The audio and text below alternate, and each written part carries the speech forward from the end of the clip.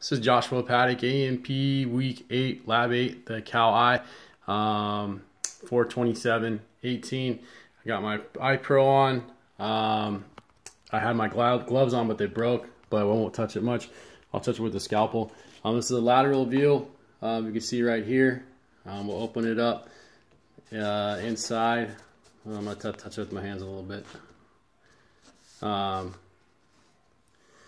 Over the outside right. There is the the lens right there and then the iris and the retinal fields in the back. Um, very gooey very gushy. Sorry didn't have my gloves. I, they broke in the last one right there the last one. Um, and again that's the pupil the iris lens all inside there. Um, should have cut it all the way open but um, again Joshua Paddock A&P 8 week lab, 427.18, uh, A&P1, week 8. Thanks.